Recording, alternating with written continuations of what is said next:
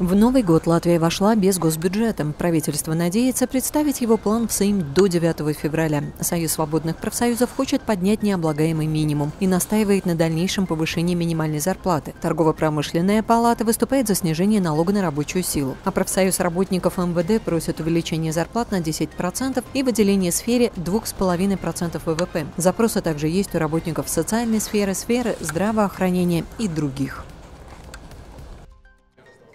План действий правительства может быть утвержден лишь в апреле, заявил сегодня руководитель Межведомственного координационного центра Петерис Вилкс. Процесс составления плана только начался, а на предыдущий план потребовалось 4 месяца. Тем временем премьер-министр Кришенис Каринч сегодня создал комиссию по ликвидации Межведомственного координационного центра, который с 1 марта должен быть присоединен к госканцелярии.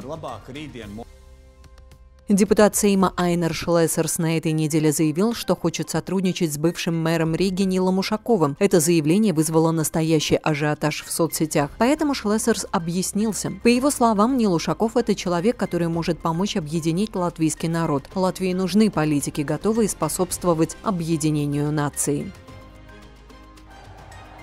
Рига очень много тратит на праздник песни и танца, заявил сегодня вице-мэр Риги по вопросам развития и транспортной инфраструктуры Вилнейс Кирсис. Так, эстрада, построенная Ригой за более чем 100 миллионов, используется примерно 2-3 раза за 5 лет и в принципе себя не окупает. Около миллиона евро сейчас будет потрачено на общественный транспорт, продолжает Кирсис, отметив, что с правительством идут переговоры о софинансировании расходов.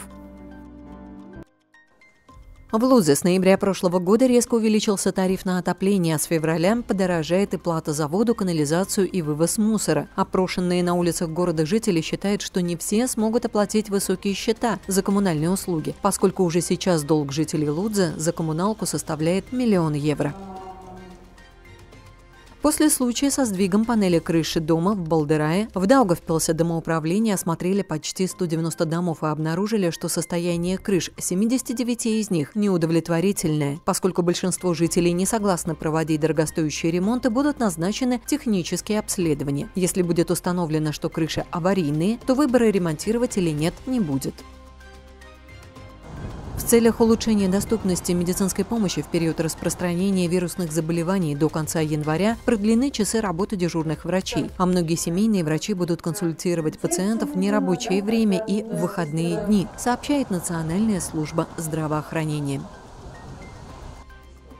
Также Национальная служба здравоохранения сообщает о сокращении числа пациентов с COVID-19 в больницах с 363 до 358. При этом рост заболеваемости коронавирусом в Китае вызывает озабоченность Европы. Директор отдела анализа риска инфекционных заболеваний Юрий Перевозчиков успокаивает, что если и появится новый штамм, то Латвия не станет первой страной его распространения. Компании по утилизации отходов в этом году в Риге будут бесплатно вывозить новогодние елки. В центре Риги на Саркандаугове и Югле бесплатный вывоз предусмотрен до 10 января. В других районах Риги до 29-31 января. Елку нужно освободить от украшений и разместить рядом с мусорным контейнером. Помещать ее в контейнер бытовых отходов запрещено.